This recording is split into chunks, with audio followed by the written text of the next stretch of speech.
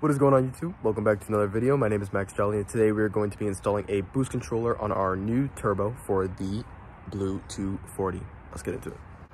Now, as you may or may not know, I recently blew up my previous turbo on the Blue 240. If you follow me on Instagram, Max underscore Jolley, you would have seen that. Um, I haven't posted about it on YouTube yet, um, but I got this new one. Um, the only difference between this one and the old one is that it is internally wastegated. Only reason I did that, it's going to be a lot more simple.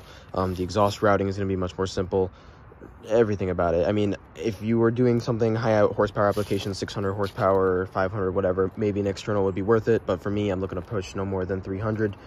Um, so this is going to work perfectly. The deficiencies are not going to matter too much.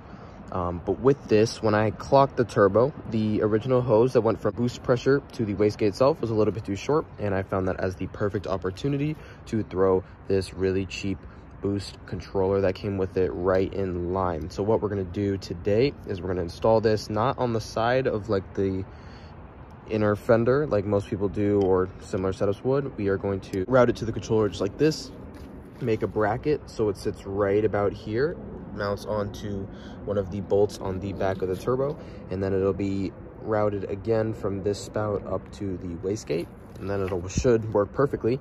Um, this is gonna be a super simple install, super simple bracket to make. It looks like it's just gonna be about a 90 degree. Might do it actually upside down like so. And yeah, that's gonna be a wrap for today's video, but let's get into it. Let's start making that bracket and getting this thing mounted.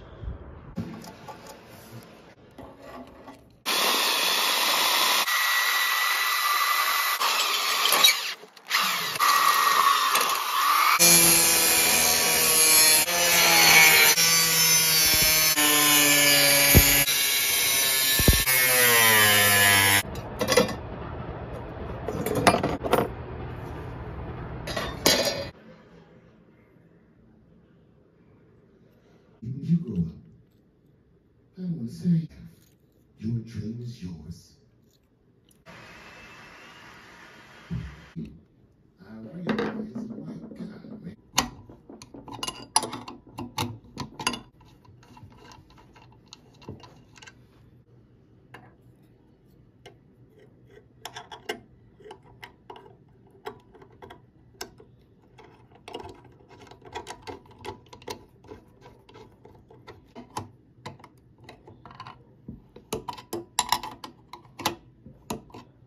So our boost controller is mounted exactly how I wanted it. Plenty sturdy on there, a little bit of distance away.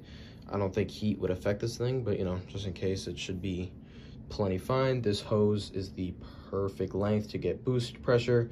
Um, so all I need to do is make a new line that runs from the boost controller out to the wastegate, and then we can call this small mini project done.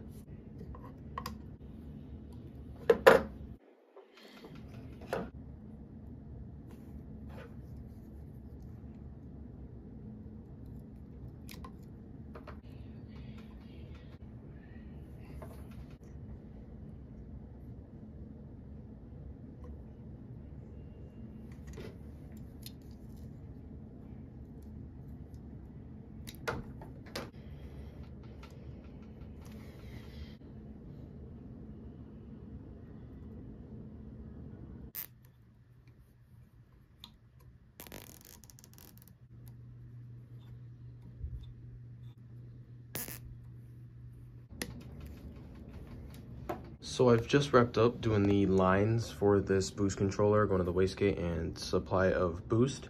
And I'm really pleased with how this came out. I used a couple zip ties. I saw this on like five minute crafts or something. And I don't know what they're using it for, like wires behind a desk, but it, I don't know why. But for some reason it came to my head and I thought it might look kind of cool. And I kind of am digging it. Let me know what you guys think in the comments. I just feel like it looks cleaner than leaving them all scraggly. But yeah, let me know what you think. I think this is a super cool solution just to make it a little bit neater, a little bit cleaner, a little bit more custom. So yeah, this is, I mean, that's pretty much a wrap for the boost controller install setup, uh, bracket making, whatever you want to call it. Um, I'm really happy with how this turned out. So hopefully when we get this mounted in the car soon, I'm already filming a video of installing this new turbo and getting the old one replaced. So um, yeah, hopefully we can get this in and this boost controller, we'll be able to test it then. Uh, I got a boost gauge that's all hooked up, so we'll be able to monkey with that, mess around with it, do some little bit of tuning, so yeah.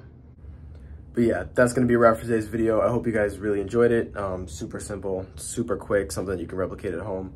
Um, I know some people have had questions about plumbing boost controllers and it's super simple. Uh, boost supply goes in or any vacuum supply and the out goes to the wastegate. So this is a super easy way of doing it. If you have an internal wastegate turbo similar to this, like this, or exactly like this, this is a super easy thing you can do. Tap into that, then you don't have to mount this anywhere. And then if you ever need to take off the turbo, it's all one piece. It's not, you don't have to like pull lines or anything. So yeah, super simple. Uh, like, comment, subscribe. I know I've been gone for a while. I've been at college, um, so I'm trying to pump out at least a few videos this month during Christmas. I've been busy, but uh, we'll see where that gets us. So thank you guys so much for watching. Peace out, and I will see you in the next video.